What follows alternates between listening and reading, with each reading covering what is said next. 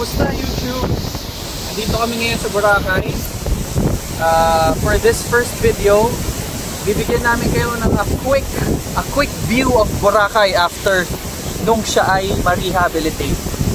So papakita namin sa inyo kung ano nang itsura ng beachfront or yung shoreline na uh, gusto ng local government before na ibalik ng mga establishments para mas lalong ma-maintain ang cleanliness ng Boracay.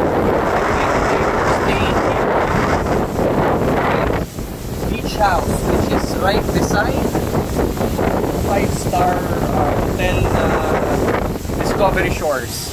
So itong Blue Waves uh, beach house siya yung one of the best alternatives or choice nyo kapag gusto niyo ng budget friendly na beachfront uh, hotel or yeah.